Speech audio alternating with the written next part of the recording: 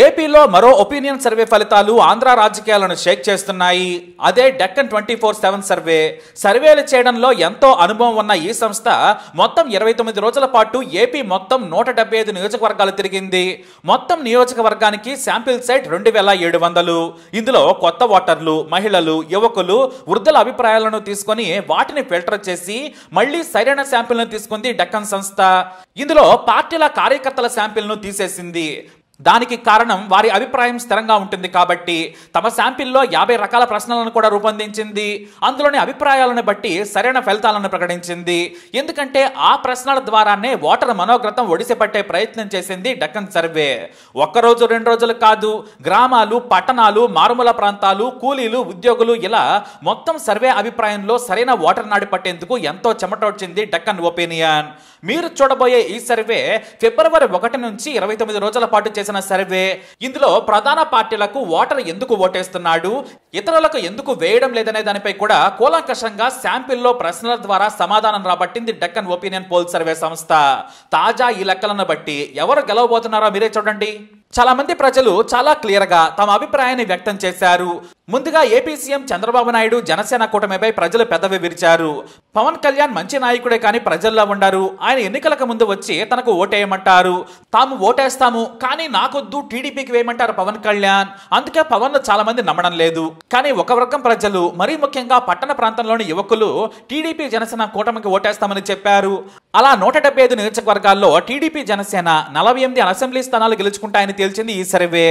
ఇక గతంలో కంటే చంద్రబాబు నాయుడుకు ఈసారి సీట్ల సంఖ్య దాదాపుగా ఇరవై మూడు సీట్లు అధికంగా వస్తాయని తేల్చింది.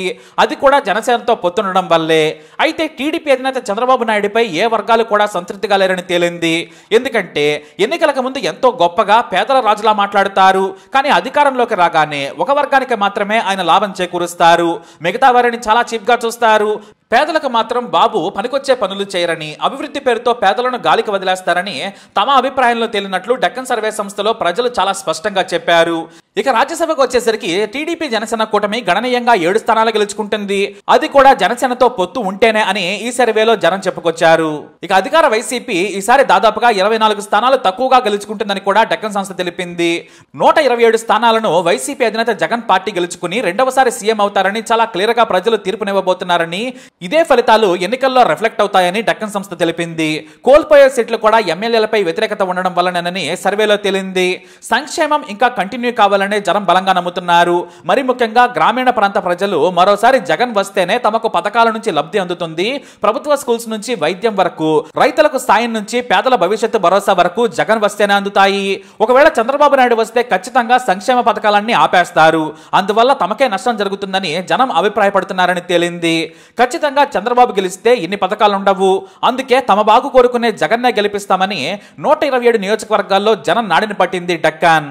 మరోవైపు పార్లమెంటు స్థానాల విషయానికి వస్తే పద్దెనిమిది ఎంపీ సీట్లు గెలుచుకుని వైసీపీ విజయకత్రం ఎగరవేస్తుందని సర్వేలో తేలింది. జగన్పై ఉన్న ప్రజా సంక్షేమ నాయకుడనే ముద్ర లోక్సభ ఎన్నికల్లో కూడా ప్రతిబింబించిందని తేలింది. అంటే గత ఎన్నికల్లో లాగా ఊపు జగన్కు లేకపోయినా కూడా ప్రభుత్వ వ్యతిరేక ఓటును టీడీపీ జనసేన పంచుకోవటం వల్ల కొన్ని సీట్లు తగ్గుతున్నాయని ఎలాంటి శశపిశలు లేకుండా తేల్చింది ఈ సర్వే.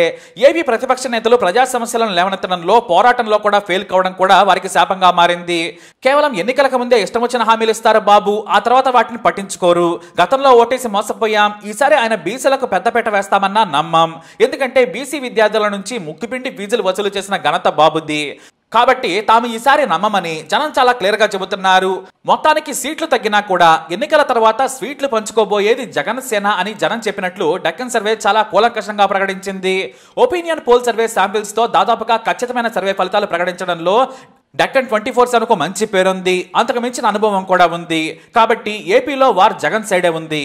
మరి ఈ సర్వేపై మీరేమంటారు? మీ అభిప్రాయాన్ని కమెంట్ ద్వారా తెలియజేయండి. వీడియో అప్డేట్స్ కోసం పై ఛానల్ ఫాలో ఉండే అలాగే తప్పకుండా సబ్స్క్రైబ్ చేసుకోండి.